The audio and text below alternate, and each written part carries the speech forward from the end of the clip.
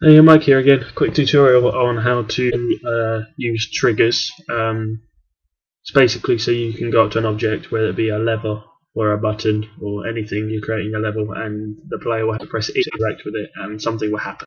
Uh, it's basically an alternative uh, to just using uh, trigger volumes when you walk into the area, something happens. You know, the player actually interact. Uh, so yeah, I've just got a simple area, floor, um, this is just a simple lever I used to build a brush to make ETS, uh, and this is um, four uh, simple squares uh, I had to import from Maya because you can't convert things if you create uh, convert things to movers if you create them in UDK.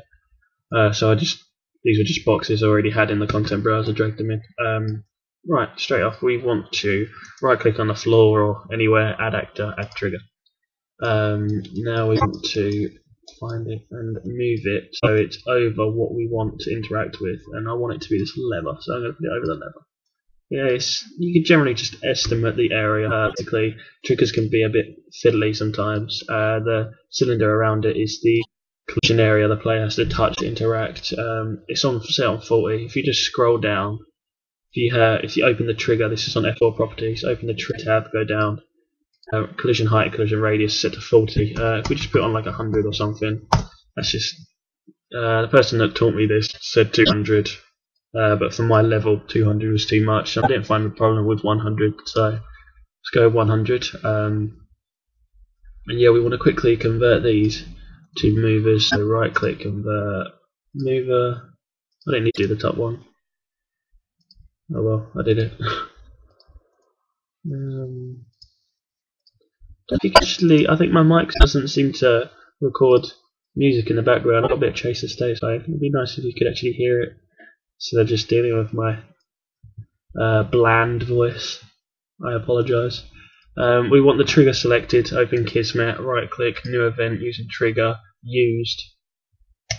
Um, I love this, it's so much better than just uh, trigger volume. Um, yeah, then we want to add a new matinee used with play. Um, this bit, this bit could be, get a bit long, so basically you just go into your matinee and matinee and then uh, move things as you want to move them as if you've done a trigger volume, which is very simple. Like I'm going to have this second step move out a bit, third one move out a bit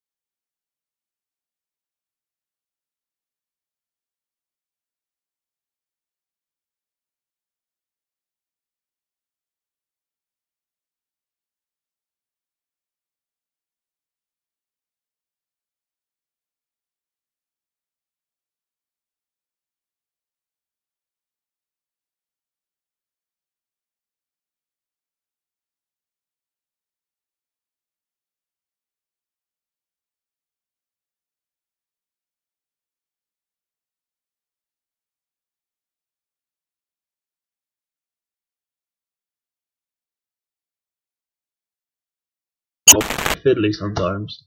Um, and then obviously interact distance sometimes put it up, but one two eight isn't too bad.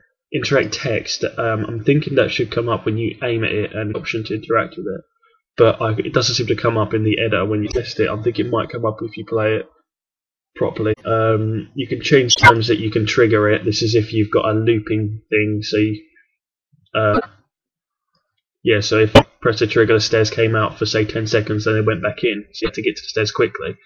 Uh, if you did that, which would be completed, reversed, that's all that would be. Um, uh, then you'd also need to click on this using and increase the max trigger count um, to anything you wanted. But if you put it to zero, that actually counts as infinite. Zero is infinite on the max trigger count. Uh, the, the retrigger delay you might want to put on something like a couple of seconds, uh, just so the player can't spam it. Um, yeah, a few options to mess around with. Uh, yeah, it's a, triggers are pretty cool. I like them. Um, I'm thinking this will put it out, and even though it's complete, it hasn't reversed. After oh yeah, yeah. and I'll press it again, and it'll come out. It's useful stuff. Anyway, thanks for your time.